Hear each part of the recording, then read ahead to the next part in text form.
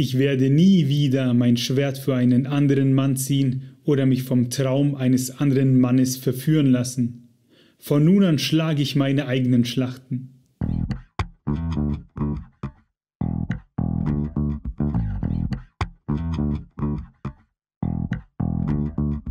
Herzlich willkommen zu Lesen und Lesen lassen, dem Bücher- und Schreibpodcast mit Martin und Maxe. Wir wünschen viel Spaß mit dieser Folge.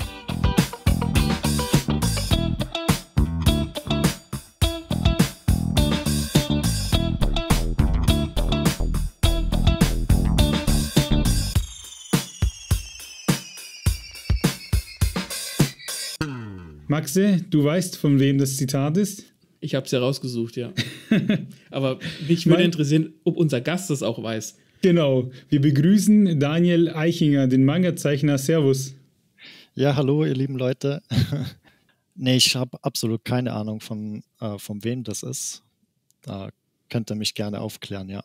Willst du sagen, Martin? Weil wenn du, wenn wenn du weißt, von wem es ist, dann sagst du ja klar, natürlich. Wenn man deinen Stil kennt, sollte man meinen, dass du es weißt, von wem es ist. Ich könnte tippen, ich könnte raten, aber ich weiß es nicht. Also eventuell, also mir gefällt halt alle Geschichten von H.P. Lovecraft ziemlich gut. Eventuell könnte das von dem sein, aber könnte auch noch irgendwie, also es klingt relativ episch. Es könnte jetzt auch irgendein Dichter sein oder halt irgendein, ja, bekannter älterer Schriftsteller. Ich weiß es leider nicht. Na, dann befreien wir dich. Es ist Guts aus Berserk. Ah, ja. das passt auf jeden Fall, ja, wie die Faust aufs Auge, aber ich wäre jetzt nicht drauf gekommen, ja. Aber es, es, es, spricht ja auch für, für den Autor oder für den Mangaka und für die Figur, wenn du sagst, ja, das könnte schon Lovecraft oder irgendein älterer äh, Philosoph oder irgendwas sein, das spricht für die Figur und den Mangaka. Ja, es fällt auf jeden Fall so in dieselbe Sparte alles, auf jeden Fall, ja. In die Klassikersparte. Genau. Wollen wir gleich reinstarten, Martin? Ich hätte schon gesagt, jetzt wo das Eis gebrochen ist, ne, können wir direkt über die Kunst sprechen. Daniel, wo sind deine Anfänge? Wie hast du mit dem Zeichnen begonnen? Wie hast du es für dich entdeckt? Also bei mir hat es ähm, relativ normal wie bei jedem, glaube ich, angefangen. Als Kleine zeichnet man halt so in der Schule zum ersten Mal. Bei mir war es halt auch, die Eltern haben auch immer ein bisschen gezeichnet. Meine Mama eher so malerisch, künstlerisch ein bisschen. Mhm. Und mein Papa war äh, eher der technische Zeichner. Also von dem habe ich die technischen, handwerklichen Sachen vielleicht ein bisschen mitbekommen. Und als Kind guckt man sich das so ein bisschen ab und natürlich will man auch irgendwie ähm, danach eifern. Und in der Schule, so mit zwölf irgendwie, hat sich so ein bisschen bei mir die Eigenmotivation entwickelt. So, ja, irgendwie, ich habe schon richtig Bock, ich will auch da mehr draus machen. Oder ich, ich hatte einfach mehr Lust, wie alle anderen in meiner Klasse irgendwie zu zeichnen. Und das hat sich so ein bisschen halt verstärkt, wie ich halt dann auch auf RTL 2 Dragon Ball und so geguckt habe. Mhm. Weil danach wollte ich halt dann unbedingt halt selbst irgendwie Charaktere entwerfen und irgendwie auch in dieses Universum dazu, ähm, ja, so Pen and Paper-artig so mit rein äh, mir das vorstellen. Und so hat es halt dann angefangen, da ich so durch diese ja, Dragon Ball ähm, sehr stilisierten Körper und so dann auch langsam Anatomie und so gelernt habe Mhm. Und ja, eher indirekt. Also mir hat es halt immer Spaß gemacht und ich wollte halt auch immer so das weiterzeichnen, was mir halt richtig Laune macht und halt einfach hobbymäßig nebenbei immer gezeichnet. Und dann haben mich auch die realistischen Sachen interessiert, also dann eher Porträts und sowas. Mhm. Und Körperzeichnen sowieso generell und halt auch immer so diese ganzen technischen Sachen, Autos und äh, ja, Waffen, Panzer, also alles, was mich zu der Zeit halt interessiert hat. Und danach ging es auch auf die Kunsthochschule. Ähm, da war ich dann sechs Jahre lang, aber da hat man dann mehr so die Basics gelernt, also verschiedene Materialien ausprobieren und auch andere Sachen wie zum Beispiel Schweißen, Nähen und ähm, Textildruck und solche Sachen. Und ich glaube, das hat trotzdem auch alles Einfluss gehabt auf die Art halt, wie ich zeichne. Also ja, man lernt in der ja. Schule des Lebens irgendwie so und dann vermischt sich das alles und irgendwann kommt dann halt da so ein eigener Stil raus. Aber das ist relativ spät, ja, es dauert alles. Mir ist gerade tatsächlich ein Licht, Licht aufgegangen, als du gesagt hast, dein Vater war oder ist technischer Zeichner. Und da dachte ich, ich gucke ich, ich guck mir deine Werke an und denke mir, diese vielen kleinen filigranen Linien, ich, ich hätte, ich, ich sehe das und kann das gar nicht richtig begreifen. Ich, ich kann mir gar nicht vorstellen, wie viel Arbeit das bedeutet, diese vielen kleinen Linien zu zeichnen. Und jetzt, als du gesagt hast, technischer Zeichner, dachte ich mir, ah ja, ja, technisches Zeichnen, steckt da irgendwie drin. Jetzt, wo du es sagst, geht mir da ein Licht auf. Genau, und bei mir war halt auch irgendwie so das eigene Interesse auch immer an Technik da, also wie was mechanisch funktioniert. Deswegen bin ich dann halt auch nach ähm, dem, der Kunsthochschule wusste ich irgendwie schon, ja, mit Kunst kannst du nicht so viel Geld verdienen. Da machst du halt eine Lackiererlehre und ähm, Autos und sowas haben mich auch immer interessiert und da, da, ja, das war halt dann auch meine zweite Welt, wo ich da eintauchen konnte und ja, vielleicht, ich hatte es halt so im Kopf, vielleicht kann ich dann irgendwann mich da in Airbrush oder sowas ausleben und äh, halt damit ein bisschen überleben, sagen wir so, mit dem, was man dafür kriegt. Bist du dann du bei euch in der Werkstatt derjenige, der für die coolen Flammen und sowas zuständig ist? Genau, ja, das war auch großteils so, aber es wird halt äh, immer weniger von den Leuten, die halt sowas wollen. Also ich habe nicht dann nur Flammen gemacht, sondern halt auch wirklich Bilder auf Autos. Und mein Auto hat halt immer so als Versuchskaninchen hergehalten. Und ja, moment, momentan sieht es aus wie eine alte Propellermaschine, aber jetzt mache ich auch nichts mehr dran. Das war so quasi mein letztes Meisterstück, bevor ich halt dann wirklich als Mangaka fast Vollzeit angefangen habe. Ja. Würdest du dann sagen, wenn man dein Auto sieht, dann weiß man sofort, dass es deins ist? Ja, auf jeden Fall. Also das gibt es wirklich nur einmal. Ich bin fast versucht, nach einem Bild zu fragen. Das würde mich jetzt interessieren, wie das Auto aussieht. Du hast jetzt tatsächlich schon drei Fragen auf einmal von uns beantwortet aus dem Skript. Ähm, wo liegen denn die Zusammenhänge und die Unterschiede vom Fahrzeuglackieren zum Manga-Zeichnen?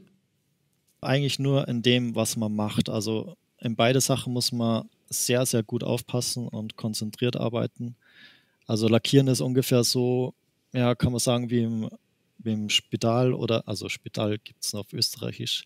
Man muss dazu sagen, ich komme aus Österreich eigentlich, deswegen manche Wörter muss ich quasi auf Deutsch übersetzen. Also ins, im Krankenhaus, wenn man im OP-Saal oder so operiert, da darf auch kein Staub sein und quasi so ist das in der mhm. Lackierkabine und es ist mega pingelig und es gibt sehr viele Fehlerquellen, die man halt ja, beachten muss, dass alles gut geht und alles super picobello am Ende aussieht.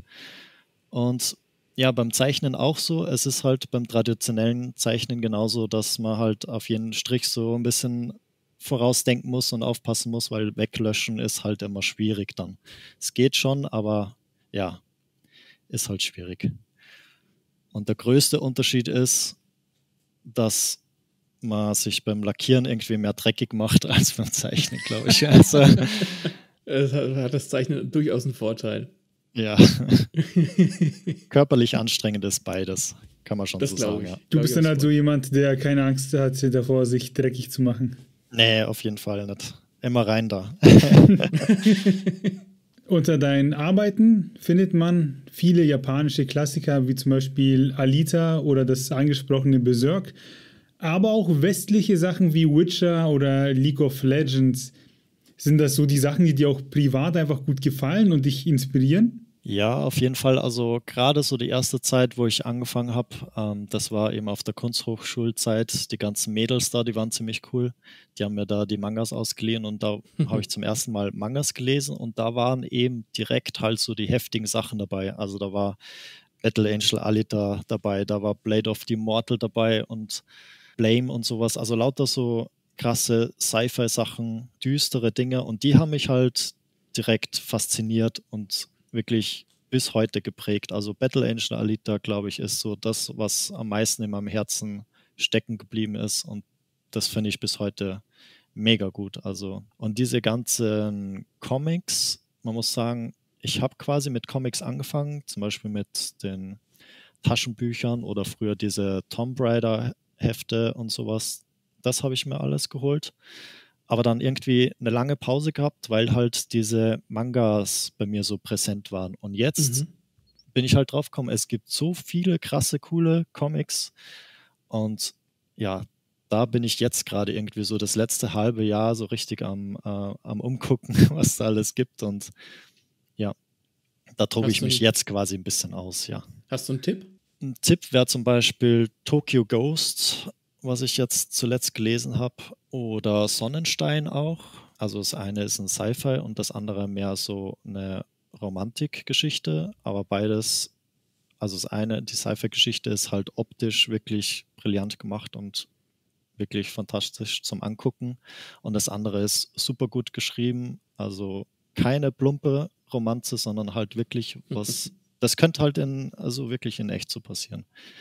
Und das finde ich immer so, ja, authentisch und super gut. Also normalerweise ist Slice of Life nicht so mein Ding, aber das Sonnenstein ist halt wirklich gut gemacht, ja. Ich gucke mir das an. Kommt in die, in die ähm, Show Notes. Dann werde ich das mal auschecken.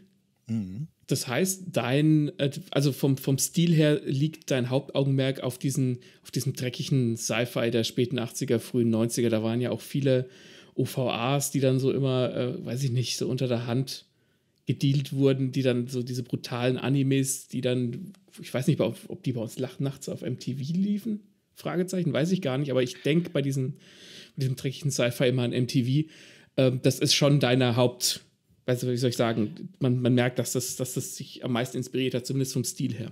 Ja, klar, auf jeden Fall. Also irgendwie so Cowboy Bebop und ähm, auch mhm. Golden Boy und sowas. Alles sowas, was halt, wie du schon sagst, früher auf MTV gelaufen ist. Das war schon mega cool. Und das hat irgendwie so einen eigenen Charme, das kann man gar nicht bis heute irgendwie so nachahmen. Ich weiß nicht warum, aber das ist richtig bei mir hängen geblieben und ich, ja, bin halt, glaube ich, so auch so ein bisschen retro drauf. Und das andere ist, glaube ich, ähm, dass mir halt düstere Sachen oder ja, so schräge und Monster-Sachen ganz gut liegen, also so vom Zeichnerischen. Meine mhm. Mama hat mal zu mir gesagt, ja, also die hat das zu mir gesagt, ja, eigentlich so die gruseligen Sachen, die gefallen mir besser. Und wenn das halt die Mama sagt, dann, äh, dann heißt das was. Also, ja. so. Ich denke mir nur gerade, mache ich mir den Spaß, aber ich glaube, ich mache ihn mir. Golden Boy, ist das auch Sci-Fi? Uh, nee, das ist. Nee, ja, ich mache nur Spaß. Ich weiß, was Golden Boy hab, ist. Ich, ja, ja. Aber es ist wirklich eine coole Geschichte. Das ist sowohl der Anime ziemlich nice als auch äh, der Manga. Und der Manga, der ist noch viel tiefgründiger. Und ja, ihr schmunzelt wahrscheinlich jetzt, weil ihr schon genau wisst, worum es da geht, aber es ist echt lustig. Äh, Comedy ist auch ja sehr nice da drin. Das auf jeden Fall, aber ich glaube, bei uns eben auf MTV, da gab es, Max, das haben wir, glaube ich, schon mal besprochen irgendwo. Da gab es nur so die sechs Folgen und dann war es, Schluss. Es gibt auch vom Anime nur sechs Folgen und ich könnte mir vorstellen, dass die tatsächlich, wenn der Manga ein bisschen so auf ähm, Comedy ausgelegt ist, dass sie für den, äh, habe ich gerade gesagt, den Anime, den Manga, der Manga ist auf, auf Comedy ausgelegt und dass sie für den Anime so ein bisschen, wie soll ich sagen, an der Bubschraube gedreht haben. Um, ne, Selbe wie bei Interspecies Reviewers, wo der Manga auch mehr auf Comedy ausgelegt ist und der Anime ist, ist schon hart am Hentai dran. Kann ich mir schon vorstellen. Und was du eben gesagt hast, Daniel, mit dem, es fühlt sich irgendwie anders an. Ich glaube auch, dass die, dass die Dinger oder dass die Sachen damals anders produziert wurden. Dadurch, dass es wahrscheinlich mehr oder fast ausschließlich von Hand gezeichnet wurde. Das hat einfach ein anderes Feeling für sich. Das ist wie wenn man einen Monsterfilm aus den 80ern oder 70ern anguckt, wo halt noch Gummimasken zum Einsatz kamen oder Animatronics und heute kommt es halt aus dem Computer. Das hat eine ganz andere Körperlichkeit. Genau, ja. Ist halt so eine Geschmackssache, also was einen da dann wirklich äh, am liebsten anspricht. Irgendwie, mir kommt es vor als Künstler irgendwie, wie wenn man bei den alten Sachen noch so ein bisschen mehr, also weiß ich nicht, spürt, dass da mehr Herzblut drin ist. Mhm. Aber ja, das ist halt einfach der Zeit geschuldet. Heute muss irgendwie alles schneller gehen und ähm, jeder will, will, alles direkt und schnell lesen und dann brauchst du halt andere Mittel. Also das ist ganz klar. Da kann man das äh, nicht mehr so altmodisch machen. Ja, gebe ich dir recht. Apropos Schnelligkeit, was würdest du sagen? Wie lange brauchst du für eine Seite so im Schnitt, bis du die so gezeichnet hast, dass du sagst, okay, das passt jetzt? Das hängt ganz von dem ab, was da drauf ist. Also es gibt Seiten, wo halt wirklich ein Panel die ganze Seite füllt und das ist wirklich nur ein einziges Panel und das sind halt quasi so die Money Shots. Und die, an denen sitzt man dann, kann schon sein, dass man da einfach zwei bis drei Tage dran sitzt aber das ist halt dann auch wert. Also bei der Seite ist meistens dann halt auch so, da stelle mir ich vor, dass, dass man da hängen bleibt bei der Seite, wenn man durchblättert und dann bleibt man da auch mal so ein, zwei Minuten und guckt sich alles an, weil da gibt es halt dann auch viel zu entdecken und so. Mhm. Und ich habe halt früher auch die Wimmelbilder und sowas geliebt und ja, das ist da alles quasi mit einverwoben und da lebe ich mich jetzt aus und ähm, das dauert einfach ein bisschen. Und so die schnellste Seite, die ich gezeichnet habe, die waren sieben Stunden ungefähr. Dann hatte ich die fertig getuscht, also jetzt ohne Skizze, aber tuschen. Mhm. Und das ist so das Maximum, was ich jetzt irgendwie an Zeit, also ja. Und eine, weiß ich nicht, eine Seite habe ich auch mal geschafft in einer halben Stunde, aber die ist halt komplett schwarz. Einfach nur fertig schwarz machen. Aber ich kann mir schon vorstellen, wenn du wirklich, wie du sagst, die Money Shots hast und kannst da auf einem, vielleicht auf einer Doppelseite ähm, Details unterbringen und kannst da wirklich dich so rein als, als, als Zeichner rein vertiefen, das macht bestimmt richtig Bock. Genau, also gerade die Hintergründe, die sind mir mega wichtig, hm. weil durch die Hintergründe erfährst du halt oder wirst du so richtig in die Welt hineingesaugt. Und das war immer so meine Hauptmotivation, irgendwie Mangas zu machen. Ich will irgendwie die Leserinnen und Leser in eine andere Welt entführen. Mhm. Und das klappt, glaube ich, mit Hintergrundbildern und mit der Welt und mit dem Worldbuilding am besten. Und das hat mir auch bei allem, was ich halt quasi so konsumiere, irgendwie am meisten immer gefallen, wenn ich mich da so richtig drin verlieren kann. Ja. Kann ich nachvollziehen. Hast du beim Zeichnen dann auch eine Achillesferse, wo du sagst, oh nee, das liegt mir jetzt gar nicht oder da habe ich gar keine Lust drauf? Ja, auf jeden Fall, aber die lässt man dann so gekonnt direkt so ein bisschen weg. Also zum Beispiel, zum Beispiel ist bei mir jetzt einfach Tiere zeichnen. Mhm. Und ich kann schon Tiere zeichnen, das kommt auch irgendwie gut hin, aber es ist jetzt nicht, dass das dann irgendwie ein Pferd oder eine Katze oder ein Hund oder so, dass das dann süß aussieht oder so, wie das halt ja. also es wird meistens irgendwie merkwürdig und jetzt im Falle von Jovantore ist es halt perfekt. Also wenn ich einen Rabe zeichne, ich kann mir irgendwie im Kopf zusammenreimen, weil ich ja schon öfter einen Raben gesehen habe, wie der ungefähr aussieht. Dann zeichne ich den und der hat trotzdem so eine leicht gruselig abgewandelte Silhouette und das passt halt mhm. halt trotzdem perfekt zu dem, äh, zu der Geschichte, zu der Welt und zu dem Werk. Und ja, dann ist trotzdem auf jeden Fall wieder was Neues entstanden, was irgendwie ja ganz eigen ist und trotzdem passt. Auf Johann Torre kommen wir auch gleich noch zu sprechen. Wir würden noch, haben noch ein, zwei, drei Fragen zu deinem Stil. Und zwar habe ich hier stehen, du zeichnest gerne auch explizite Nacktheit. Und was ich finde, ich habe ähm, Owen Treuer gelesen, du machst das ohne so ein, äh, ohne Fanservice zu generieren, ohne, ohne dieses Voyeuristische. Das passt einfach zu diesem gritty Stil, den du hast. Gehören Nacktheit und Gewalt für dich aufs selbe Spektrum? Auf jeden Fall, wenn es zu der Geschichte passt. Also das muss immer harmonisch sein. Also mhm. je nachdem, worauf man halt abzielt. Im Falle von Omen Troja Love Story, wo halt ja auch viel rumgemacht wird, quasi. ähm, da hatte ich irgendwie äh, jetzt nicht so große Pläne oder so. Ich, die ganze Geschichte war irgendwie nicht so durchgeplant. Da ging es mehr darum, einfach meinen Zeichenstil zu testen.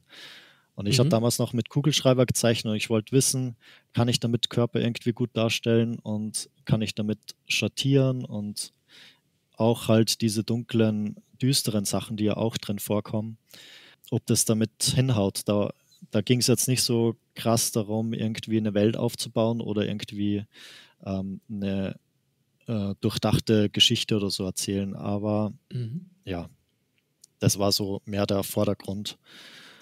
Aber zum Beispiel, ähm, wenn ich jetzt äh, in Jovantore dann eine dreckigere Welt oder so erschaffen will, wo halt die halt zufällig irgendwie dann eine Stelle hat, wo die äh, ähm, irgendwo entblößt ist, dann ist das halt so. Aber soll nicht jetzt irgendwie extra drauf abzielen. Aber natürlich, mhm. wenn die da irgendwie, ja, keine Ahnung, in Flammen gerät oder sowas und dann brennt der Ärmel ab und dann sieht man halt ein bisschen was, dann, ja, dann ist es halt dem geschuldet, was halt gerade passiert ist. Also da, da kann keiner quasi was dafür. Und das sind genauso Männer als auch Frauen werden da genauso mit reingezogen. Also da wird keiner verschont. ja. Ich finde so das gut, es. weil das halt so einen gewissen Realismus hat. Ne? Man muss, der Zeichner oder du als Zeichner musst dich nicht künstlich zurückhalten. Du stellst aber auch nicht den Voyeurismus vorn an, wie das ganz gerne mal in, in Mangas und in Comics auch gemacht wird. Deswegen äh, finde ich das gut, wenn das äh, genau in diesem Rahmen passiert und dazu passt, dann gibt es dem auch eine gewisse Gravitas und ein, wie soll ich sagen, es fühlt sich erwachsen an. Zu dem Zeitpunkt zum Beispiel, wo ich Oventroya Love Story gezeichnet habe, da war ich selber noch nicht so erwachsen. Also da muss man das auch wieder aus einem anderen Kontext sehen. Das mhm. ist jetzt mittlerweile schon elf Jahre alt und da war ich halt auch so in der Zeit, wo mich das halt selbst auch alles beschäftigt hat. Und ist ja klar, dass auch sowas rauskommt. Ich habe damals halt meine Frau gefragt, ähm, ey, ich habe vor, irgendwie eine kleine Geschichte zu machen, um meinen Zeichenstil zu testen. Und hast du irgendeine Idee? Und die sagt halt zu mir, ja, mach doch mal eine kleine Liebesgeschichte. Aber die hat sich bestimmt was anderes darunter vorgestellt. Also es ist dann, ja, gerade so irgendwie ausgeartet zu dem, was mir zu der Zeit halt Spaß gemacht hat. Und das ist halt, das rate ich auch allen, die ähm, selbst zeichnen oder zeichnen wollen. Bitte, bitte zeichnet immer das, was euch gerade Spaß macht. Das ist ganz wichtig. Also das, was euch motiviert, ähm, das macht ihr. Also nicht was anderes sagen. Ja, am besten wäre, du zeichnest jetzt am besten, keine Ahnung, ähm, sagen wir, eine Romanze oder ein Sci-Fi, äh, was halt gerade gut geht, aber wenn das nicht das ist, was du willst, dann wirst du ziemlich schnell aufhören damit. Also am besten, so wie in der Schule halt auch. Am besten lernt man bei den Sachen, ähm, die einen selbst interessieren. Deswegen kann ich auch nicht so gut Englisch oder Deutsch oder sonst was. bei mir ist halt da mehr dieses Zeichnerische und das Geschickliche hängen geblieben. Das war auf jeden Fall der erste Schnipsel für Social Media. ja. ähm, darf ich kurz zwischendrin fragen, äh, welcher Jahrgang du bist? Ich bin jetzt 35, glaube ich. Also die Zeit vergeht irgendwie gerade komisch. ähm, ja. Okay. Und ja, sind, sind wir aber alle grob im selben Spektrum. Ja. Genau. Na, weil eben, du hast vorhin das mit Dragon Ball gemeint auf RTL 2 und dann dachte ich mir, ja, okay, so wie ich und der Maxe Anfang 30 und dann hast du aber gesagt Tomb Raider Hefte. Hm. Und dann dachte ich mir, ja, es ist schön, dass, das ist schön, dass du mich Anfang 30 schätzt, weil ich bin auch 34. Echt? Seit wann bist du 34? Seit, äh, seit ich Geburtstag hatte dieses Jahr. Ich, bin ich dachte, du bist wie ich 32. Ja, egal. Nein, nein. Ich bin okay. näher am Daniel als an dir. Wir sind alle in dieser komischen Zeitspanne. Ja, glaube ich auch. Also wir haben eruiert, dein Stil ist dreckig und düster und liegt irgendwo zwischen Alita und Doro Hedoro. Und zu Alita möchte ich noch sagen, das haben wir mal rezensiert und das hat der Maxi mir eigentlich ganz gut verkauft. Und dann habe ich mir den ersten Band gekauft und der liegt jetzt ein Jahr lang ungefähr ungelesen im Regal. Was macht das mit dir? Ähm, ich, ja, also ich glaube, es muss dich zur richtigen Zeit erwischen. Das ist egal bei welchem Werk. Das ist halt so. Kann sein, dass du es, wenn du es jetzt äh, zum richtigen Zeitpunkt, wenn du halt in Stimmung bist und auch irgendwie dich auf die Zeichnungen und alles einlässt, es ist natürlich auch alles ein bisschen altbacken, aber dass es dich dann catcht und dann kannst du nicht mehr aufhören. Also mich hat halt vor allem dieser ähm, ja, düstere und lebendige Zeichenstil gefesselt. Also nirgendwo habe ich so eine krasse Schrottstadtwelt gesehen wie in Alita, wo halt wirklich wenig äh, Rasterfolie und sowas verwendet wird und sondern mehr alles so mhm. von Hand schattiert ist. Und sobald du was von Hand irgendwie schraffierst und schattierst, dann wird das so lebendig. Also du kannst das richtig fühlen, dass überall so eine lebendige Struktur drüber ist. Und das ist halt so die Magie davon. Und manche schreckt halt dann irgendwie ab, ja, dass Alita irgendwie so einen Schnullermund hat und große Augen. Aber die Story dahinter, also wirklich die ersten, ich glaube, die Originalen sind ja die kleinen neun Bände, sind nur neun Bände. Und da gab es jetzt eine neue Auflage. Ich glaube, das sind dann drei oder vier so Sammelbände. Ja, die großen, ja. ja. genau, dann ist quasi so der erste Abschnitt abgeschlossen und das ist quasi so der, mein Lieblingspart, weil sobald es irgendwie ähm, dann nach Salem hochgeht, also das ist dann so eine Himmelstadt, da wird alles ein bisschen steriler und cleaner und auch der Zeichenstil, man merkt, der will vorankommen, der Mangaka und ja, das war dann alles nicht mehr so meine Welt, aber das davor, das hat mich wirklich abgeholt. Ich finde deine, ich nenne es mal Liebe zu Alita, die kommt super rüber. Also es ist echt ansteckend, wie, wie ruhig du äh, und so ernst über Mangas sprechen kannst, obwohl ich immer denke, ja, so Mangas in Deutschland wird immer noch ein bisschen belächelt. Aber wenn man mit dir drüber spricht, dann klingt es so, als wäre es seit hunderten von Jahren etabliert und das Normalste auf der Welt. Ja, ich finde das gerade richtig schön. Ja, für mich war das auch immer so und äh, ich muss auch sagen, mir wurden da auch nie irgendwie Steine in den Weg gelegt. Also man hört ja manchmal von anderen, dass das irgendwie auf der Hochschule oder so nicht gut angenommen wird oder dass halt, ja, das Umfeld sagt, ne, was bist denn du für einer, du lest da so einen Kram. Hm, mhm. Und bei mir war das nie der Fall und oder mir ist einfach nicht aufgefallen, keine Ahnung. Also, aber ich habe halt das einmal gelesen, was mir gefallen hat und ja, das hat gut funktioniert und ich habe es ja auch gezeichnet und vielleicht haben meine Zeichnungen von dem abgelenkt, was ich halt sonst so gemacht habe. war, du ja. warst einfach zu gut.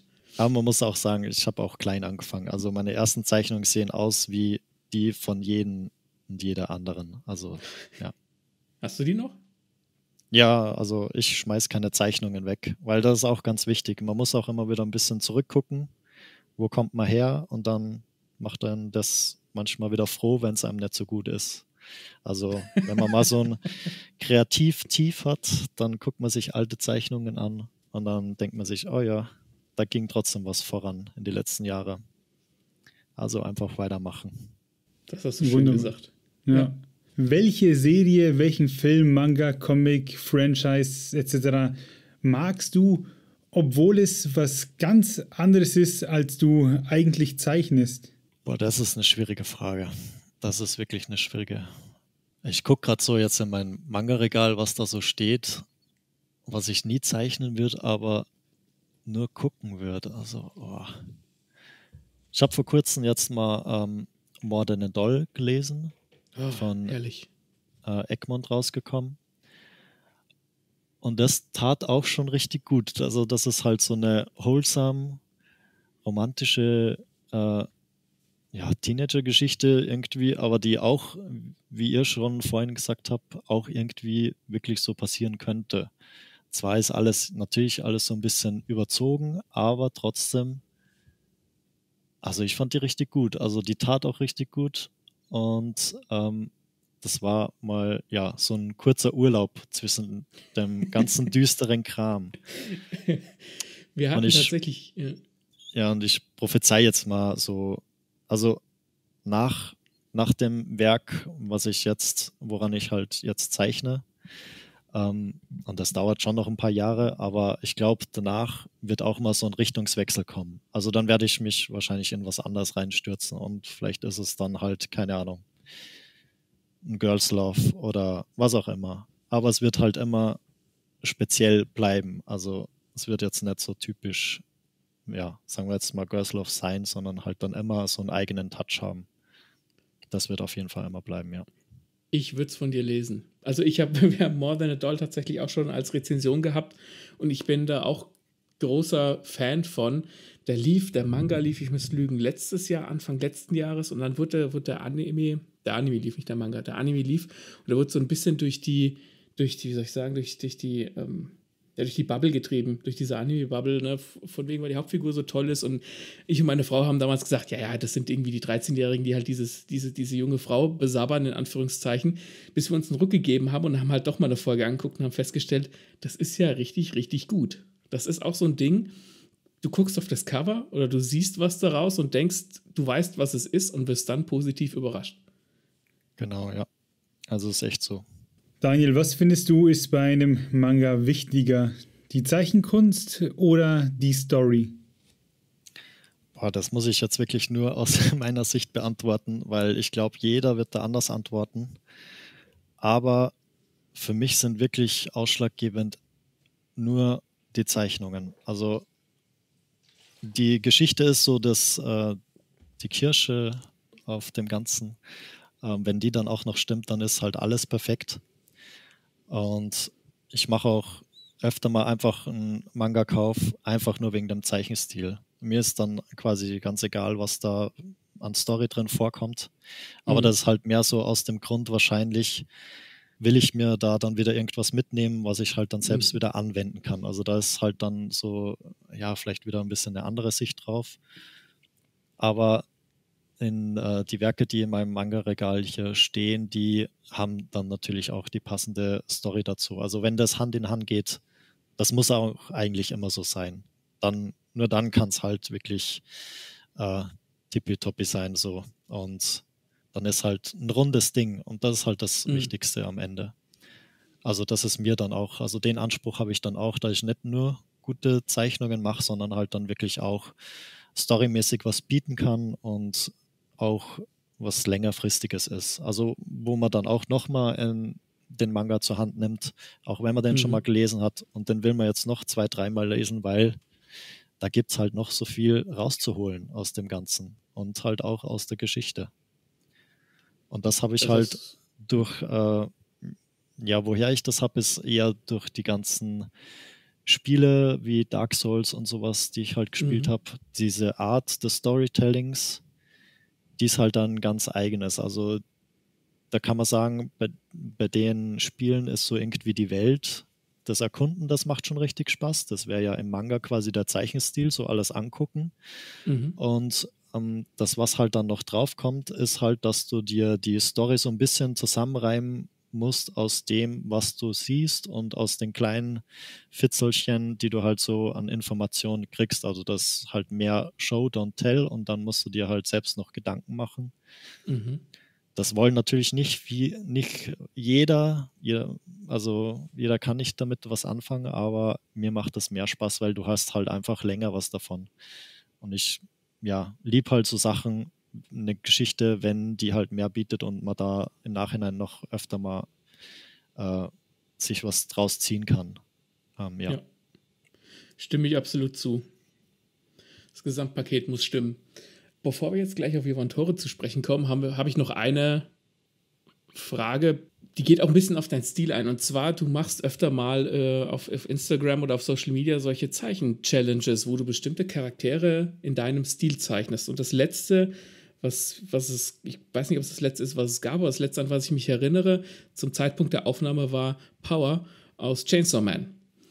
Und ich finde, du triffst immer den Kern der Figur, diese, die, also wie diese Figur ist, also du triffst den Charakter, hast aber trotzdem deinen Stil. Du zeichnest sie trotzdem in deinem Stil. Wie machst du das?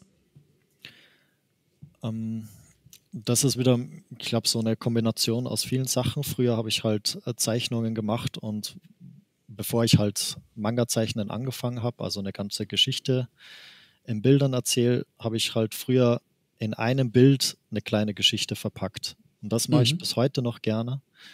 Und wenn das halt ein Charakter ist, dann muss halt der Charakter quasi so ein bisschen das ausstrahlen oder das machen, was er halt ähm, in seiner Welt und äh, so auch quasi tatsächlich machen würde. Also dann ist halt, ähm, ja, momentan zum Beispiel zeichne ich jetzt gerade mehr so äh, verschiedene weibliche Charaktere. Mhm. Und weibliche Charaktere sind ja meistens irgendwie so dann keine Ahnung, so aufgehübscht oder auf sexy gemacht, quasi fernab von der eigentlichen Story oder von dem, mhm. wo die halt drin vorkommen.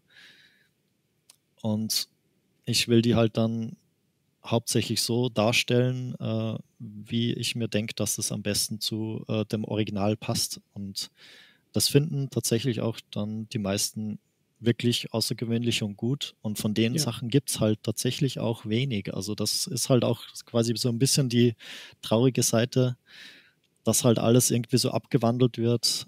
Ähm, ja, dass da dem Mainstream gefällt und ich bin quasi so ein bisschen der, der immer dagegen schwimmt und ja. Ich finde das Dann vielleicht außergewöhnlich. Gut. Und wenn du, wenn du fragst, welche weiblichen Figuren du, da äh, du zeichnen sollst, werde ich nicht müde, Jolene Cujo aus Jojo zu erwähnen und hoffen, dass es, dass es irgendwann durchdringt.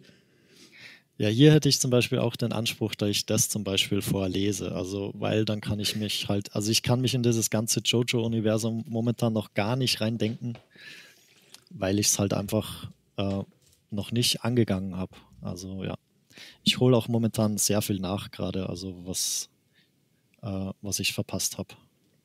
Der Trick ja. ist, mit Max den Podcast zu machen, dann kommst du nicht äh, dran vorbei, Jojo zu lesen.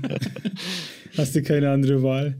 Ja. Wenn, wenn du eh so ein bisschen auf diese, wie soll ich sagen, die altbackenen in Anführungszeichen Sachen stehst, dann könnte dir das schon taugen, die, die frühen äh, Sachen von Jojo. Die sind ja auch in den 86, 87 entstanden und sehen dann auch entsprechend aus, haben so ein Fist of the North Star. Ja, genau, das lese ich zum Beispiel ja. jetzt gerade, momentan ja. jetzt. Hm. Fist of the North Star, das habe ich mir gerade gegönnt und das ist ja quasi ähnliche Zeit so irgendwie, auch vom Stil und so. Also das gefällt mir schon richtig gut. Da ist zwar von der Story bin ich noch nicht so abgeholt, aber wie ihr wisst, Zeichenstil ist halt so mein Ding, mein Kriterium. da, ja. ja, ja. Und, und Jojo ist am Anfang auch inspiriert, stark inspiriert von Fist of the North Star. Also ähm, das hat, das legt in eine ähnliche Kerbe, ist dann auch in einer ähnlichen Zeit erschienen oder kurz danach. Und der Mangaka hat dann auch über Zeit eben diese, diese muskulösen Männer abgeändert, der also hat seinen Stil verändert und ist dann immer zu mehr androgyneren Männern übergegangen. Also das ist ganz interessant, glaub, also ich bin jetzt kein Mangaka oder kein Künstler, aber selbst mir fällt auf, wie sich die Veränderung dieses Stils von diesen Macho-Männern zu androgynen Männern, das ist wahnsinnig interessant zu beobachten, mhm. weil man ja, quasi miterleben kann, wie dieser Stil sich verändert. Ja, ich glaube, als Zeichnerin und Zeichner hast du auch dann, wenn du eine gewisse Zeitspanne schon hinter dir hast mit einem, ja, mit einem Werk, dann willst du auch mal so ein bisschen in eine andere Richtung gehen. Das ist, mhm. das ist einfach nur menschlich so. Also, wenn ein Werk einfach schon lange läuft, dann kann man eigentlich davon ausgehen, dass das nie so quasi gleich bleibt, sondern immer irgendwie dann so ein bisschen abgewandelt sein wird. Ja. Dass einfach ich, interessant ja. wird, also interessant bleibt ja. für äh, den Künstlerin und die Künstler und auch für die, die ganze Leserschaft, ja. Ja, ja gut, das ist in dem Fall äh, Araki jetzt so gemacht, dass er das alles in diverse Parts unterteilt hat und jeder Part hat ein anderes Subgenre, eine andere Hauptfigur, andere Nebenfiguren. Dadurch hält das frisch für sich und für die Fans.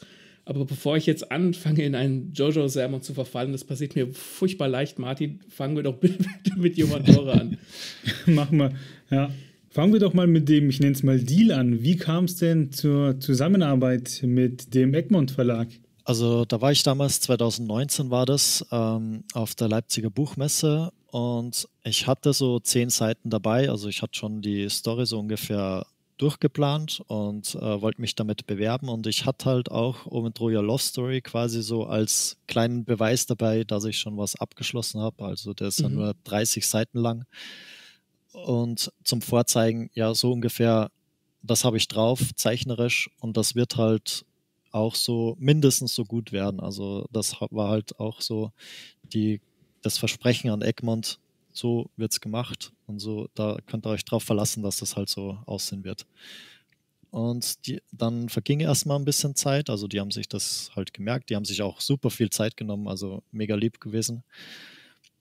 Und dann ging so ein halbes Jahr rum und irgendwann halt habe ich eine Mail gekriegt, ja, sie machen gerade so eine so einen kleinen Testlauf mit äh, ein paar deutsche Künstlerinnen und da wäre ich auch mit dabei und zwar wollen die eine Kurzgeschichte machen und meine kleine Kurzgeschichte, die ich quasi nur als Test so dabei hatte, als Probe, die würden die gerne aufnehmen und halt so ein bisschen, ja, das, die Zusammenarbeit mit dem Verlag testen halt so. Quasi die Probezeit. Also das ist für mich nicht schlecht, erstmal zu gucken, wie, wie ist der Verlag so drauf und kommen die mit mir klar und so. Und das fand ich echt super, wie die das gemacht haben. Und danach ergibt sich halt was Größeres. Also es ist, ich hatte damals schon die Erfahrung mit der Lackiererlehre und wie das da so Lackierer-Business abläuft und es ist einfach mhm. bei handwerklichen Berufe nicht anders und ich finde das halt nicht schlecht, dass man sich so Schritt für Schritt annähert und halt immer größere Sachen macht, weil manche kommen halt vielleicht dahin und wollen dann schon zehn Bände und haben aber vielleicht ja am Ende nicht die Kraft, das durchzuziehen oder so. Mhm, mh. Das ist halt für beide Seiten immer schlecht. Ja, das stimmt voll. Genau, und dann kam halt, also wie Joventore Love Story quasi gut ankam, dann stand Joventore quasi nichts mehr im Wege und dann haben wir damit losgelegt. Würdest du damit sagen, du lebst damit den deutschen Comiczeichner-Traum? Also man kann es wirklich noch schaffen, an den Verlag ranzugehen, zu sagen, hallo, hier ist mein Ergebnis, ähm, ich würde mich freuen, von euch zu hören und man hört dann tatsächlich was. Das ist noch möglich heutzutage, weil es gibt ja mittlerweile durch Instagram und so sau viele Zeichner. Genau, ja, auf jeden Fall ist das möglich. Ich glaube, jetzt ist die Zeit nie besser wie sonst wann. Also gerade jetzt werden halt sehr viele angenommen. Gerade jetzt wird halt auch von der Leserschaft, die wird größer und die akzeptieren mhm. quasi auch die deutschen Zeichnerinnen und Zeichner. Das war ja früher so ein bisschen immer so ja, mit rollenden Augen irgendwie quasi so betrachtet. mhm. Aber aus der Zeit äh, damals, da bin ich quasi so ein bisschen rausgefallen. Ich habe halt das einfach nur online hochgeladen, gratis. Das war mir alles egal. Hauptsache ein bisschen, ja, sich ausgetauscht. Die haben halt ein bisschen Kritik gegeben oder fanden es gut. Und ich habe halt immer gemacht, worauf ich Lust hatte. Und das ist quasi bis heute immer so geblieben.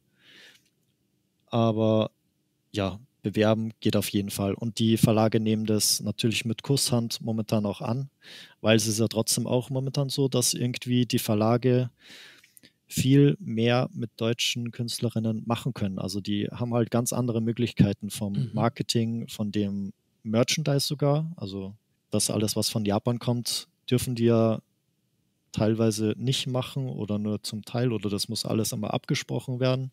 Ja. Wenn zum Beispiel mein Redakteur sagt, ja, wir brauchen für ein Plakat schnell ein Bild, keine Ahnung, mach mir das einfach, dann mache ich das in einer ein, zwei, drei Tagen und dann ist es da.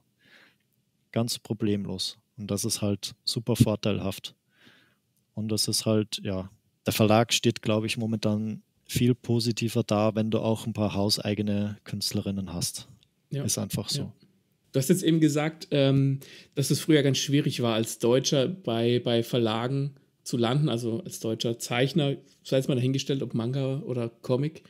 Ähm, warum glaubst du eigentlich, dass die Deutschen in der Hinsicht von Manga und Comic und Graphic Novels und überhaupt, warum das die so Spätzünder sind? Weil dieser ganze Zeichenlernprozess wahnsinnig lange dauert. Also man darf das nicht unterschätzen.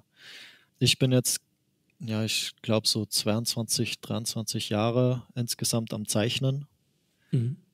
Und ich bin genau da jetzt quasi angekommen, wo ich vor diesen 20 Jahren sein wollte. Also das dauert halt einfach. Und das ist vielen nicht klar, die halt zum Beispiel jetzt richtig Bock haben zu zeichnen und wollen unbedingt Manga machen. Dann können sie sich halt darauf einstellen, ja, okay, das wird 2040 klappen. Aber das wollen halt viele nicht hören und dann, äh, dann greift man halt zu anderen Mitteln, wie halt gerade ganz populär ist, dieses AI. Und äh, mhm. ja, das ist halt nur auch auf kurz schön. Also der lange Weg ist halt einfach der beste, der, wo man hundertprozentig Erfolg haben wird. Also das kann man garantieren. Wenn man dran bleibt, wird man erfolgreich. Das ist einfach so. Ähm. Das finde ich eine wahnsinnig positive Message. Also klar, äh, es kann nicht jeder zeichnen, wie du zeichnest. Das ist schon. Das wäre ja auch komisch, wenn er noch genauso zeichnen wird wie ich. Aber genauso gut in der Qualität. Also da, äh, da, da lecken sich, glaube ich, andere die Finger danach und würden das ein oder andere Opferlamm am Altar opfern. Ja, ich glaube, ähm, das ist aber auch äh, je nachdem, was, worauf man abzielt. Also hm. je, es will nicht jeder irgendwie den zweiten Berserk oder so machen, sondern einfach dann halt, hm, ja, sowas wie Dragon Ball oder so. Und dafür musst du halt ganz andere Sachen mitbringen, die ich mhm. jetzt gelernt hätte. Also ich würde jetzt auch so ein, so ein Werk für 14- bis 16-Jährige, ich glaube, ich würde das nicht richtig hinkriegen, weil bei mir würde das immer ausarten, sage ich jetzt mal so ganz. ja. Ich finde ich finde, dass es genau das ist, was Stil, deinen Stil zumindest für mich interessant macht, dieses Ausarten. Johann Tore kommt bald. Äh, ist das richtig? 1. September? Ich bin mir jetzt nicht ganz genau sicher. 1. September. Ähm, im Animagic-Programm steht jetzt 11. September, also irgendwas in dem Zeitraum wird sein, wo es jetzt also im Anfang, normalen Handel ist, ja genau. Anfang bis Mitte September. Und ähm, als ich das Cover angeguckt habe, hatte ich Junji Ito-Vibes, weil man sieht, man sieht eine, eine Dame, ja, was ist das, in, in so einer Decke oder in, in, wie so einer Seite und die ist so ein bisschen gedreht. Ich, schwer zu beschreiben, ich habe es jetzt auch nur im Kopf. Bin ich da mit Junji Ito irgendwie richtig? Ich habe Junji Ito gelesen, weil es halt viele mir auch empfohlen haben. Also genauso wie Berserk und sowas. Das sind tatsächlich alles Werke, die ich jetzt im Nachhinein nachgelesen habe, weil halt viele gesagt haben, ja, dein Zeichenstil ist halt dem ähnlich und das könnte dir halt auch gefallen und ja, ist hm. ja klar, dass mir das gefällt, ist ja klar. äh, aber ja, der Wind weht halt von meinem Zeichenstil woanders her. Aber trotzdem, natürlich, Junji Ito arbeitet sehr viel mit Symbolik und das ist halt auch quasi in meinem Cover. Also ich übertrage das quasi auch alles in Symbolen. Das Cover könnte man glauben, jetzt, ja, das wird alles so vorkommen im Manga. Das ist nicht so. Mhm. Aber wenn du das Cover halt siehst, das ist die beste Inhaltsangabe oder der beste Klappentext. Hinten, ja, ist das zwar schriftlich drauf, aber du kannst dich von der Stimmung und sowas auf das Cover, Frontcover, auf die Illustration verlassen, dass du halt nicht enttäuscht wirst. Weder von dem, von der Art, wie es gezeichnet ist. Also du kannst quasi einen Coverkauf machen, weil du weißt dann, das, was vorne drauf ist, auch, ist auch drinnen von der Qualität. Und halt das andere ist, wie du schon angedeutet hast, ja, so dieses Gefühl, diese Stimmung, die aufkommt. Da ist so eine Art, mhm. dieses Tuch ist so rumgewickelt, als wäre das wie so ein Sog, so ein Abgrund, so ein genau. in die Dunkelheit hinein, so ein Strudel. Und das ist das wahrscheinlich, was dich so irgendwie an Uzumaki oder so erinnert. Und ja, dieselbe Stimmung quasi wollte ich halt da auch erzeugen. Also, ich meine, du hast mir Jovan Tore vorher schon verkauft, aber jetzt hast du es mir noch mehr verkauft. Ja. ich will ja, das war eine Ansage. Äh, wenn man das Cover sieht, dann ist man überzeugt. Äh, ich würde trotzdem kurz auf ähm, den Inhalt eingehen, weil jetzt vielleicht die Podcast-Hörer nicht unbedingt das Cover vor sich haben. Äh, was würdest du sagen? Worum geht es in deinem Manga? Also mein Redakteur hat sich schon richtig schwer getan beim Zusammenfassen ähm, von dem Klappentext. Ich tue mich auch schwer. Ich habe mich damals bei der Bewerbung schwer getan, das irgendwie gut zu erklären, weil das Werk, das, das lebt halt auch von den Bildern, aber ich versuche es jetzt mal einfach so ein bisschen äh, runterzubrechen. Und zwar geht es halt um die weibliche Hauptfigur, die Rita, ist halt, ja, sagen wir, relativ normales Mädel. Das lebt in einer Zukunftswelt. Und das Problem ist, die hat halt so eine unheilbare Krankheit. Und das ist so merkwürdig, weil halt in dieser Zukunftswelt kannst du theoretisch alles heilen. Also da gibt es nichts, was jetzt irgendwie ja unheilbar wäre. Und die hat nämlich so einen Ticken im Kopf, dass die wahnsinnig macht. Also das kann man sich so vorstellen wie diese Wassertropfen-Foltertechnik. Mhm. Ähm, ja, so ein stetiges Ticken und mal ist lauter, mal ist es leiser, aber auf jeden Fall, es ist immer da und das macht ihr einfach den Kopf kaputt. Und sie ist halt so quasi am Rande der, ja, der Verzweiflung, also es macht sie wirklich wahnsinnig. Äh, sie versucht sich dann auch irgendwie in den Tod zu stürzen und so und selbst das wird, will nicht klappen und ähm, da, wenn, äh, selbst da, wo die Hoffnung schon fast vorbei ist, da trifft die halt in den unteren Schichten von der Stadt eine so eine Art alte Hexe. Also mhm. ich sage jetzt mal Hexe, weil die vom Aussehen so aussieht und ja so eine dubiose Gestalt ist. Aber die scheint anscheinend zu wissen, irgendwie ja so ein Heilmittel oder so ein Hilfsmittel, irgendwas, was dir helfen kann, zu haben. Und dann geht die mit der mit. Und ab da beginnt quasi die Reise in die Dunkelheit. Und ja, Vielleicht geht es gut aus, vielleicht nicht. Und wer weiß. ich will das rausfinden. Ist das eigentlich ein, ein One-Shot oder äh, ist das eine Reihe? Also es ist beides. Es ist, äh, die Geschichte ist länger theoretisch, aber der erste Teil, der ist quasi wie ein One-Shot. Also wenn man die letzte Seite zuschlägt, dann kann man damit aufhören und ähm, man ist zufrieden quasi so, wie das ist. Aber das ist halt nur die Spitze quasi des Eisbergs, weil man kann sich schon denken, da lauert noch mehr drunter. Und die Geschichte, die gibt halt, und die Welt halt insgesamt, die gibt noch mehr her. Und theoretisch gäbe es noch mehr, aber das kommt jetzt wirklich, wie ich schon vorhin gesagt habe, wir tasten uns da so schrittweise ran. Das kommt jetzt auf den Erfolg drauf an, wie jetzt dieser, dieser Manga angenommen wird. Hoffen wir, dass alles gut geht und äh, die Geschichte weitergeht. Äh, ja, also Martin und ich kaufen. Ich bin da voller Zuversicht, also nach dem, ja. von dem, was ich auf Instagram gesehen habe und von dem, was ich jetzt gehört habe. Also wenn das nicht einschlägt, dann bin ich enttäuscht von, vom deutschsprachigen Manga-Bereich. Von allen. Dann seid ihr keine Fans, dann seid ihr nur Heuchler. Ja. Ich lasse das mal so stehen. nee, aber ja, würde mich mega freuen natürlich, wenn das gut ankommt. Aber ich bin selber so ein bisschen der Typ, der eigentlich immer Bach und Ball flach hält und halt ja schon insgeheim ein bisschen hofft, aber nicht zu viel. Um sich positiv überraschen zu lassen. Genau. Also, ähm, ich meine, ich wäre, also ich, ich, ich, für mich führt da kein Weg dran vorbei. Für mich steht das im, im Kalender, ich werde das kaufen. Und ich bin mir auch relativ sicher, Martin, dass wir da eine Rezension zu machen werden. Also, ich hatte auch kurz überlegt, ja. ob ich die Frage stelle, wenn ich im September zu meiner linken den Alita Band 1 habe und zu meiner rechten äh, Jovantore und dass ich dich jetzt frage, Daniel, was ich zuerst lesen soll, aber eigentlich stellt sich mir die Frage nicht. ja. Hast du sehr ähm, gut verkauft. Ja, ja genau. Ähm, was auffällt, sind, dass beide Titel, dass es Anagramme sind, Oventroja und Jovantore. War das Zufall? Ich, wir glauben es nicht. Tja, wenn das Zufall ist. Nee.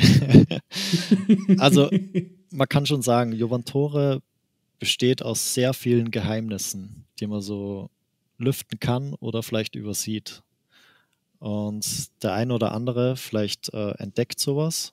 Und wie ich schon gesagt habe, du kannst das Werk öfter lesen und wirst dann erst auf manche Sachen draufkommen. Und das ist, wie gesagt, nur ein winziger Teil davon, von dieser Welt, äh, von so einem Rätsel, ähm, das sich halt ganz am Ende erst aufklärt. Und äh, aber man kann sich sicher sein, dass ich mir bei jeder Sache, was da drin ist, mir Gedanken gemacht habe und das auch, was dahinter steckt. Ähm, auch wenn man es vielleicht momentan jetzt noch nicht so versteht, aber es hat auf jeden Fall einen Sinn. Zu 100 Prozent. Also ja. Ich fand es vorher schon cool, jetzt finde ich es richtig geil, jetzt bin ich gespannt. ja, jetzt wünschte ich, es wäre schon September. Ich finde es sowieso wahnsinnig schwierig. Du hast mir das oder hast uns das jetzt so ein bisschen als so eine, so eine Mystery-Geschichte verkauft. Und ich finde, es ist wahnsinnig schwierig, Geheimnisse in Geschichten clever und gleichzeitig stilvoll rüberzubringen oder zu erzählen. Deswegen, ich bin komplett an Bord. Ja, das ist, glaube ich, beim äh, geschriebenen Text, also bei einem Buch, noch schwieriger, so mhm. Mystery-Sachen, mhm.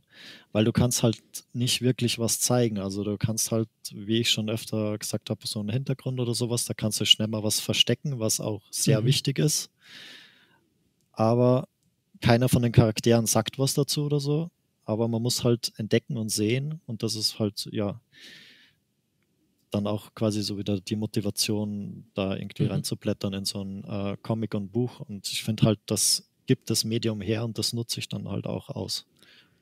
Das neide ich euch, Mangaka, also als Autor, weil du kannst auch mal mitten im Bild oder einem Panel oder einer Seite bestimmte Emotionen und bestimmte äh, Botschaften vermitteln, was du in einem Buch nicht kannst. Ein Buch hat wieder andere Stärken als, als ein visuelles Medium, aber gerade dieses mit einem Fingerschnipp vielleicht eine bestimmte Emotion durch einen Gesichtsausdruck vermitteln, das kannst du in einem Buch nicht und das neide ich euch. Na dann, Termin steht fest. Manga, wir wissen, wie er heißt, Jovan Tore, bald in den Läden. Ähm, Gibt es noch etwas, was du den Fans mitteilen möchtest, worauf sie sich da freuen können? Ähm, ja, wir sind jetzt auf der kommenden Animagic, vielleicht ist da wer von euch, da bin ich dann auch am Egmont-Stand, gibt da Signierstunden. Wir haben da auch schon einiges ein bisschen vorbereitet. Ähm, ihr kriegt da auch noch ein paar kleine Extras und so. Also schaut da gerne vorbei. Und da könnt ihr das quasi dann schon am 4. bis am 6. August quasi schon in Händen halten. Und ich habe heute quasi von meinem Redakteur, also zur Zeitpunkt der Aufnahme hier, habe ich so ein Mini-Videoschnipsel äh, von dem ersten gebundenen, fertigen Jovantore-Band bekommen. Ja, und ich bin heute schon komplett zerstreut und durcheinander, weil es einfach nur, nur geil ist. Es ist wirklich so krass. Hier sind quasi drei Jahre von meiner Arbeit zusammengepresst, ein drei Zentimeter äh, Stapel Papier. und das ist halt einfach, ja, nur heftig, wenn man weiß, wie viel Leidenschaft und Kunst da drin steckt.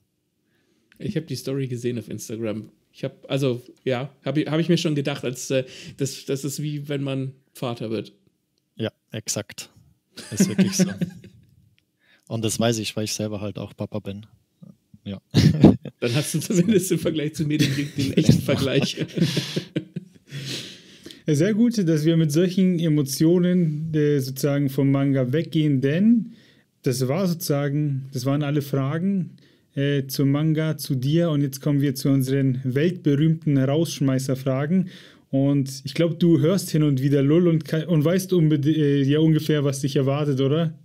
Ja, und zwar irgendwie weiß ich gar nicht, was jetzt kommt. Das ist das, wo ich ein bisschen nervös bin, aber weil du kannst dich auf nichts einstellen. Also genau. aus. Wie schon gesagt, du hörst ja hin und wieder unseren Podcast, das hast du uns mal verraten und das freut uns natürlich sehr. Deswegen stellen wir an dich die Frage, äh, worüber sollten wir denn mal eine Folge machen? Natürlich ist alles willkommen, was quasi Manga, Comics und äh, Bücher betrifft. Und mir sind quasi auch immer die Folgen am liebsten, wo halt hier noch wer mitredet, quasi von außerhalb, weil das halt irgendwie äh, nochmal so ein extra Schnack ist, also weil halt so ein Bereich abgedeckt wird, von dem er halt vielleicht noch nicht so viel kannte oder Erfahrung hat. Mhm. Und die finde ich halt wahnsinnig interessant und die äh, höre ich am meisten, auch von anderen Podcasts quasi. Und ja, das ist quasi so, was mich am meisten interessiert. Und ähm, gerne. Hast mehr. du, hast du Namen, wo wir anklopfen können, können sagen, der Daniel Eichinger hat uns geschickt, wir würden gerne ein Interview mit dir machen? Irgendeine Kollegin oder einen Kollegen? Also der erste, der mir einfällt, ist wirklich der äh, David Felecki. Der ist halt, ich glaube, der ist ideal für so ein Format, weil der hat wahnsinnig viel zu erzählen, ist halt schon ein alter Hase im Manga-Business, auch quasi deutscher Mangaka. Ähm, ich hoffe, ihr kommt an dem ran. Der ist immer mega äh, unter Druck und gestresst und weil der so viel zu tun hat. Also, aber der ist halt wirklich schon ewig dabei und der hat, der hat so viele Geschichten zu erzählen. Also da könnt ihr wirklich drei Tage durch aufnehmen und der wird nicht aufhören zu reden und euch Sachen zu erzählen. Also es ist sehr, sehr krasse Person von dem er, finde ich, zu wenig hört. Also David Filecki, merkt euch den. Der, der, der hat auch schon einiges gemacht. Der äh, kriegt von uns, wenn die Folge draußen ist, kriegt er den Link. Der wird ja bestimmt irgendeine Webseite, E-Mail-Adresse haben. Genau, E-Mail-Adresse am besten, ja. Dann schicke ich dem den Timestamp und sage: Hallo, du wurdest uns empfohlen, hast du nicht mal Bock? Mach das, ja. Da hätte ich auch Lust drauf. Sehr cool. Ich habe es mir vermerkt. Wenn man Zeichner ist und ziemlich gut zeichnen kann, wie oft kommen dann Leute, Freunde oder Familie auf dich zu und sagen, kannst du mir mal was zeichnen? Zum Beispiel ein Logo oder sowas? Ja, mittlerweile nicht mehr. Natürlich, wie ich schon vorhin ein äh, bisschen erwähnt habe, also auch wichtig für alle, die anfangen oder halt ja dabei sind beim Zeichnen, macht das, was euch Spaß macht. Das ist halt wirklich ganz wichtig, auch wenn es halt jetzt dann äh, ja, so freundschaftliche Sachen sind. Dann, wenn's, wenn er sowas zeichnet, dann verlangt zumindest Geld, auch wenn es jetzt die Mama ist, weil dann habt ihr auch wenigstens noch was davon, auch wenn er euch da durchplagt. Das ist halt, ja, ist die Wahrheit. Also, ja, glaube ich sofort. Und das Problem ist halt auch, wenn du sowas annimmst, das äh, kostet dir halt Zeit für die Sachen, mhm. die du halt tatsächlich machen willst und musst. Und deswegen zum Beispiel mache ich momentan auch keine Aufträge, weil halt mir einfach die Zeit fehlt. Und wenn es jetzt nur ums Geld geht, also viele gucken halt einfach nur aufs Geld. Ja. Dann könnte ich jetzt auch einfach weiter lackieren gehen und alles wäre gut und ich habe keinen Stress mit nix und das käme aufs selbe raus, kann man sagen. Also mache ich einfach lieber Manga und krieg halt kein Geld oder nicht viel. Aber es fühlt sich einfach, es fühlt sich richtig an. Ja. Du dürftest einer Manga-Figur eine Frage stellen. Wen würdest du was fragen? Aber das ist so eine Frage, die kann ich, glaube ich, nicht beantworten, weil ich nicht den Kopf für so Sachen habe. mein Kopf ist, glaube ich, nicht gemacht für solche Sachen. Ähm, also am liebsten würde ich ja wirklich mit Kinderer UE um die Häuser ziehen und in der Schule des Lebens lernen. Aber was würde ich den denn fragen? Ich glaube, der könnte mir sogar sagen, was der Sinn des Lebens ist. Ich glaube, ja. und dann das wird klingt er, so doof, ja, aber ich, ich, ich stimme zu, ja. Und ja, ihr, ihr habt ja vorhin schon gesagt, wir sind alle so quasi so ein bisschen im selben Alter und tatsächlich kommt einem die Frage so ab und zu auf. Äh, und die ist aber auch wichtig. Und ähm, ja, das macht halt alles trotzdem dann irgendwie besser, wenn man sich dann auch mal darum Gedanken macht. Und äh, ich weiß nicht, ich bin in den letzten fünf Jahren irgendwie doppelt so viel gereift innerlich und im Kopf als wie die letzten 20 Jahre. Und äh, ja, ist nicht schlimm, das Alter, will ich nur sagen. Und wird das akzeptiere ich. Ja, so kann ich bestätigen. Welches Utensil darf auf deinem Schreibtisch nicht fehlen, außer Papier und Stift? Ich glaube, das ist meine kleine ähm, Lautsprecherbox, wo ich dann einfach immer so ein bisschen Musik drüber höre oder halt eben, wie gesagt, auch Podcasts oder irgendwelche anderen Sachen. Radio höre ich eher ungern, aber halt ja, Sachen, gezielt Sachen hören. Und äh, wenn es zum Zeichnen einfach passt, so stimmungsuntermalende Sachen, das hilft mir wirklich extrem. Also beim einfach hineinversetzen äh, in die Situation und dann, dann funktioniert das mit dem Zeichnen auf jeden Fall auch viel besser. Also mit Musik geht besser, außer halt beim Storyboarden, da wird's, ja, da klappt das gar nicht. Da muss still sein. Eine haben wir noch für dich.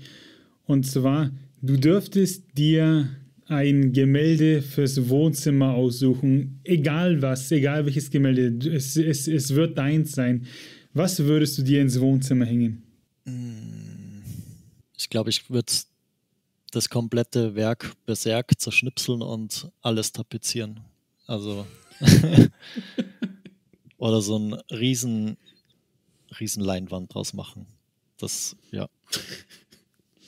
Damit würde ich mich, glaube ich, zufrieden geben. ich dachte jetzt, du sagst jetzt vielleicht sowas, keine Ahnung, sowas klassisches wie Mona Lisa oder vielleicht den Monet, keine Ahnung. Nein, Berserk. Und damit sind wir jetzt Full Circle zum Anfangszitat.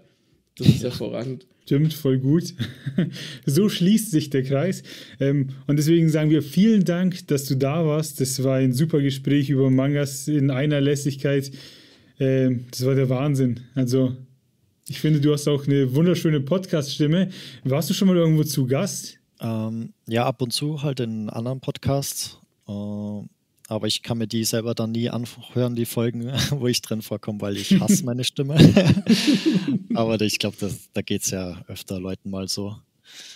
Und ja, aber gut, dass das heute funktioniert hat und vielen, vielen Dank auch an euch. Also wirklich, es war mir eine Ehre. Ich höre ja euch auch gern. Also ich jetzt jetzt ja quasi auch ein Lesen und Lesen lassen Fan. Und ja, yes. danke, dass ich hier sein durfte. Sehr gerne. Ähm, Daniel Eichinger ist der Name. Der Manga, der rauskommt, heißt Jovantore. Du musst uns noch sagen, wo man dich überall findet und alle Infos zu dir. Also mich findet ihr ähm, mit allen Zeichnungen und so auf Instagram. Da heiße ich unterstrich Daniel unterstrich Eichinger unterstrich. Und auch da ist in meinem Instagram-Account ist quasi auch alles andere verlinkt. Also da könnt ihr meine Kurzgeschichten gratis lesen.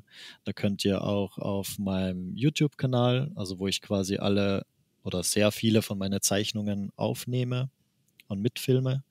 Mein YouTube-Kanal, der heißt dann Red Hawk und bald gibt es auch einen Patreon-Account, der ist dann auch noch auf meinem äh, Instagram-Account verlinkt.